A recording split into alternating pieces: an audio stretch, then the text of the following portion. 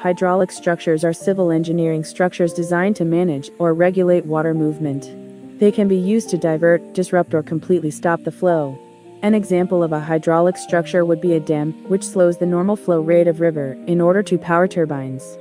Typically, these buildings are utilized for water resource management, flood control, irrigation systems, and hydroelectric power generation. Hydraulic structures may be divided into two primary classes. 1. Water storage structures. Examples reservoirs, dams, and tanks are examples of water storage structures. They serve as water storage, flood control, and irrigation systems. 2. Conveyance structures. These structures, such as canals, pipelines, and culverts, are designed to transport water.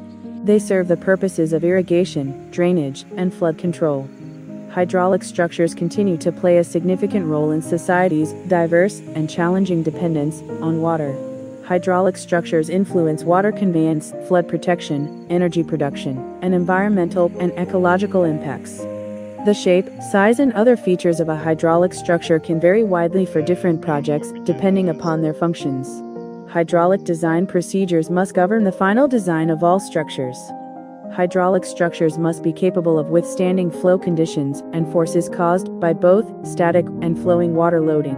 They must be so designed as to last over their design life span and be resistant to deterioration, aging, and extemporaneous forces due to weather extremes and earthquakes. Hydraulic structures are and will be a vital part of the infrastructure for human beings as they provide safe irrigation and water supply, protection against natural hazards, energy generation, and many other highly needed services.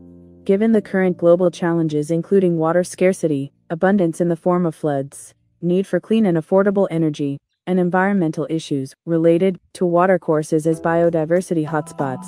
Hydraulic structures will remain very relevant in the future.